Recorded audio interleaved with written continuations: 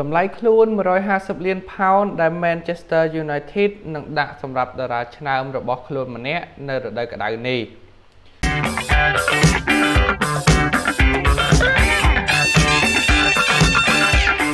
ក្លឹបរៀលម៉ាឌ្រីតកំពុងតែប្រឈមមុខនឹងការចំណាយទឹកប្រាក់ចំនួន150លានផោនសម្រាប់ខ្សែបម្រើភូលផុកបា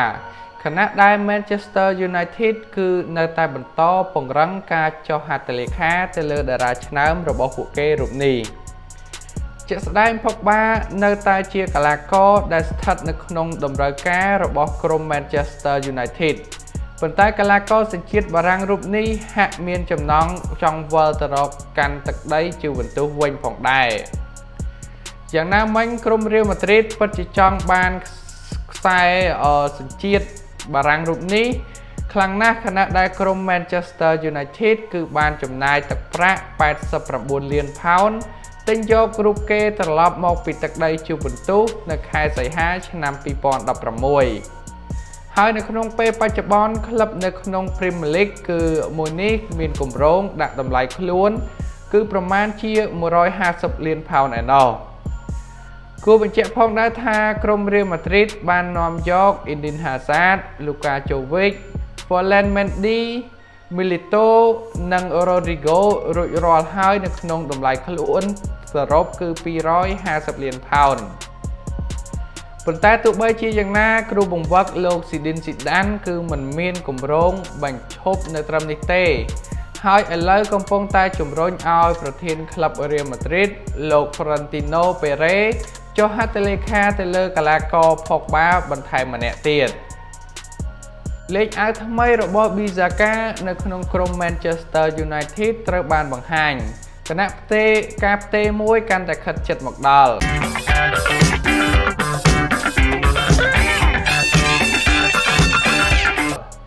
យោងទៅតាមរបាយការណ៍មួយ បានឲ្យដឹងថាកីឡាករប៊ីសាកានឹងពាក់អាវលេខ29នៅក្នុងក្លឹប Manchester United ខណៈពេលដែលការផ្ទេរនៅក្នុងទំហំទឹកប្រាក់50លានផោនពីក្លឹប Crystal Palace កាន់តែចិត្តគៀកមកដល់ការបញ្ចប់ជាក់ស្ដែងលោកគ្រូបង្វឹកលោកអូលេកូណាសូខ្ជាបានកំណត់អត្តសញ្ញាណតារាឆ្នើមវ័យក្រោម21ឆ្នាំរបស់ក្រុមអង់គ្លេសរូបនេះ ជាអ្នកដែលត្រូវបានចុះហត្ថលេខាបន្ទាប់ក្រោយពីបានសម្រេចលើការផ្លាស់ប្ដូរសម្រាប់កីឡាករ Daniel James ពីក្លឹប Swansea City កាលពីពេលថ្មីៗនេះ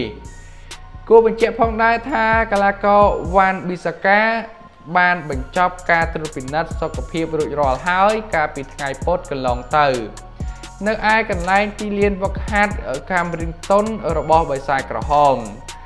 យ៉ាងណាមិញខ្សែការពាររូបនេះត្រូវបានគេកំណត់ថានឹងត្រូវទទួលយកអាវលេខ29ដែលជាលេខទំនេរនៅក្នុងក្រុមពលគឺលេខអាវចាស់របស់កីឡាករ Zaha នៅក្នុងអំឡុងពេលដែលគេលេងឲ្យក្រុម Manchester United ទីបំផុត Valencia រកបានទ្រនំថ្មីហើយ ក្រោយប្រកាសដើរចេញពីក្រុម Manchester United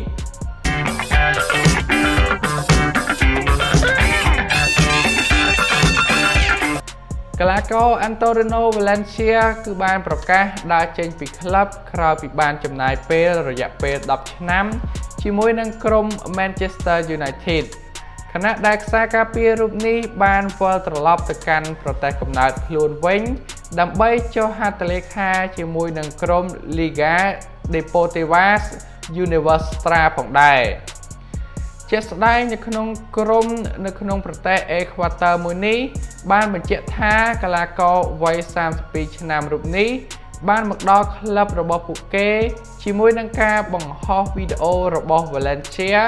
រួមនឹងឯកសន្តានថ្មីរបស់ពួកគេផងដែរ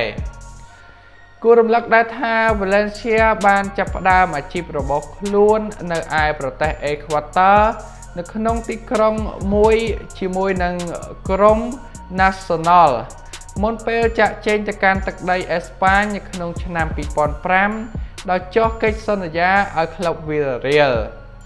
មិនតែប៉ុណ្ណោះក្រោយឆ្លងកាត់រដូវកាលជាច្រើន Valencia ត្រូវបានទទួលការចាប់អារម្មណ៍ពីក្លឹប Manchester United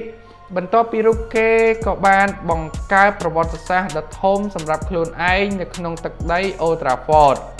ដោយបានបង្ហាញខ្លួនយ៉ាងរឹងមាំសម្រាប់ ក្លឹបមួយនេះផងដែរ Manchester United បង្កចែកជើកីឡាករ Barcelona ជំនួស Pogba ដែលប្រុងនឹងចាក់ចេញ